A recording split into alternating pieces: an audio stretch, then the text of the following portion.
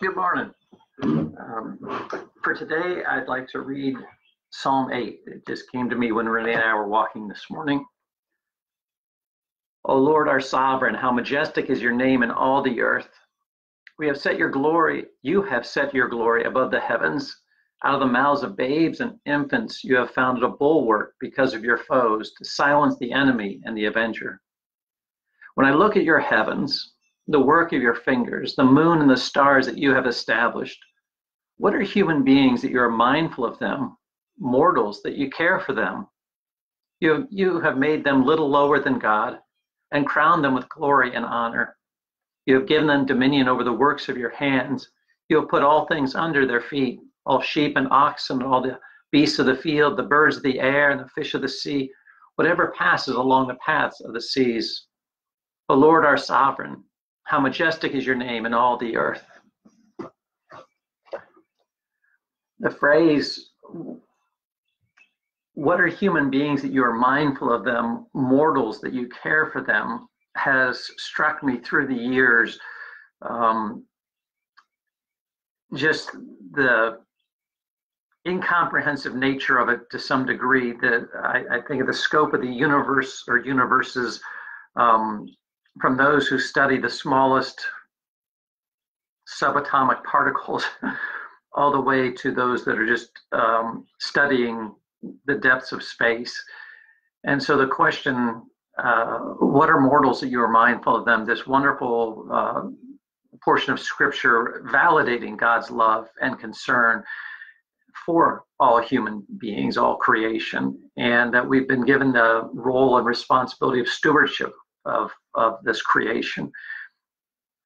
I confess that um, my faith is a fairly basic one at times in the sense that I can't even begin to wrap my brain around the concept of creation and create ongoing creation. And um, possibly a better person to speak on that would be uh, Pastor Bruce Boer, who uh, had wrestled earlier in life with a call to fig- figure out whether he wanted to be called and follow a path towards astrophysicist or pastor.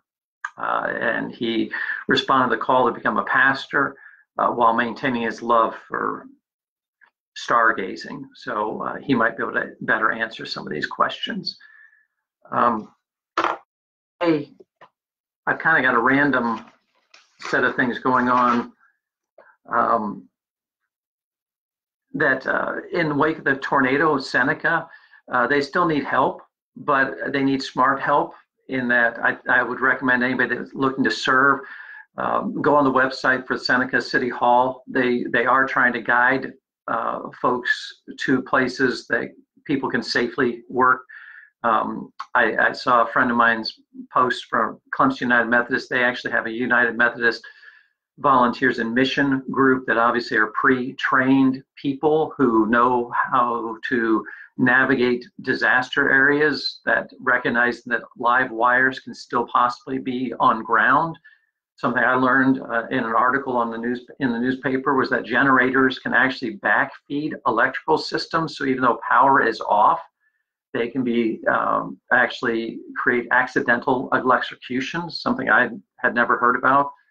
I was very aware through uh, following up with uh, Hurricane Hugo back in '89 when I volunteered part of a chainsaw crew. Uh, Lumberman's City Mutual or one of the insurance companies was sending out crews a trained person running the chainsaw, which was not me, and then somebody who could just clear wood and clear brush, but could act, uh, could know how to navigate over tripping hazards, not in the way of saws, uh, uh, being cognizant of branches that are sometimes referred to as widowmakers that could, could come down. So it's not, um, you basically don't want to create additional work and injuries by our earnest zeal to get in there and help. So help wisely. Um, obviously, any groups like Golden Corner Pantry, people that were already in the community prior to the disaster, uh, good cold hard cash checks always are best because they can then um, uh, direct the resources the most needed needed places. So I I recommend you going to the um, the Seneca City Hall website and uh, look for current updates. Obviously, if you have folks in the community, in the neighborhoods, where direct help can be um, associated, that that also works out very well. Um, with with reference to coronavirus, again, some some things I've just picked up on was that um, Singapore apparently, who had done a great job of controlling the outbreak, had been loosening uh, controls in their in their uh, society, and what they've seen is a surge in uh, in reinfection or infections. And so this is a balance that countries around the globe are trying to navigate between uh, having people be able to um, go out and about more freely, and yet recognizing that until we truly know a lot more about how the virus is transmitted um, through surface contacts and things of that nature that that um, I've always been a proponent in my life. Slow and steady wins the race. So um, pray for scientific breakthroughs where uh, and and again data collection from around the world that we can help one another. Uh,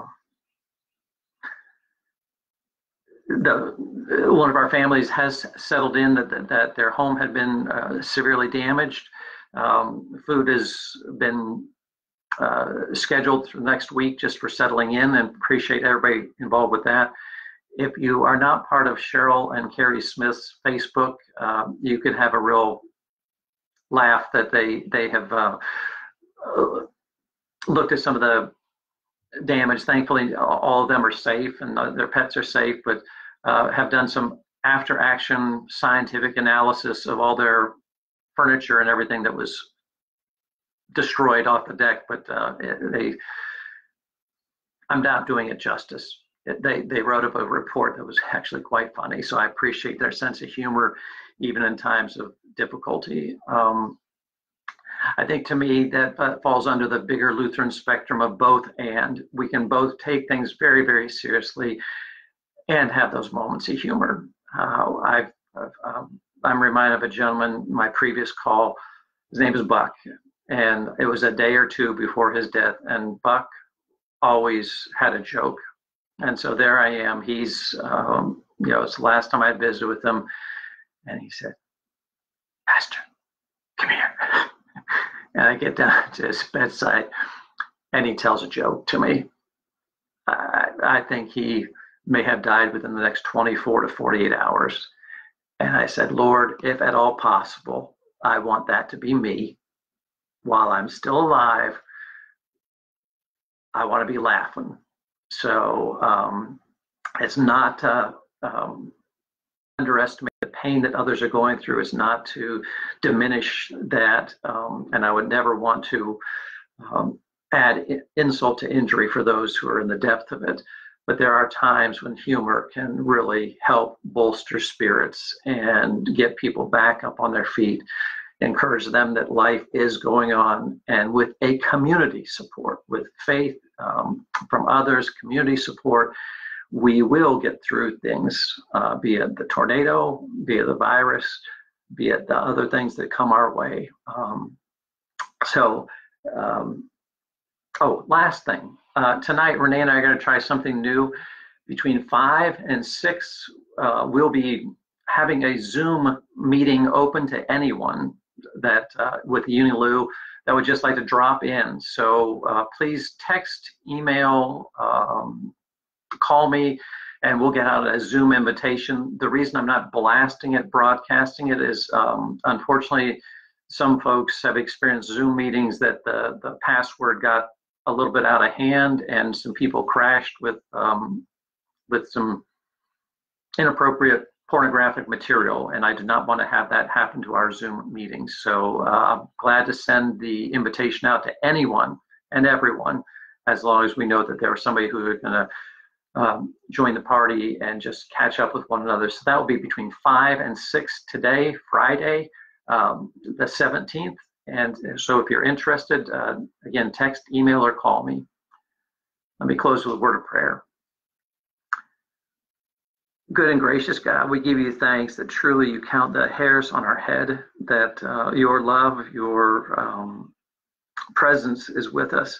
So help us this day. Um, help uh, parents at home with kids that uh, they can um, have their activities for teachers who are teaching students and the students themselves that they may have learning beyond um, textbooks, but uh, but can also continue in a way to help develop their minds that they can um, live out um, the call to to serve you and to serve one another as best as we are able. So bless us this day. Help us to um, respond as we are able to reach out to our neighbors. And this we ask and pray in Jesus' name. Amen. Well, have a blessed day, and I might see some of you tonight in the Zoom call. And if um, if you'd like to drop in, otherwise, it'll be tomorrow morning. God's peace be with you. Bye bye.